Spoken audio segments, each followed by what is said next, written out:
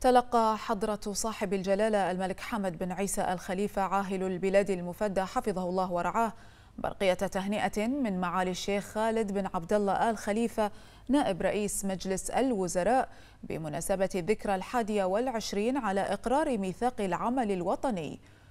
ورفع معالي الشيخ خالد بن عبد الله آل خليفة إلى المقام السامي لحضرة صاحب الجلالة ملك البلاد المفدى أسمى آيات التهاني والتبريكات بهذه المناسبة الوطنية مؤكدا أن ميثاق العمل الوطني يعبر عن مشروع حياة رائد رسمه متميز لمملكة البحرين وشعبها الوفي الذي صوت بإجماع عن تطلعاته للعيش في عهد زاهر مشرق ملأه قيم الحرية والمساواة وركزته أسس العدالة والديمقراطية.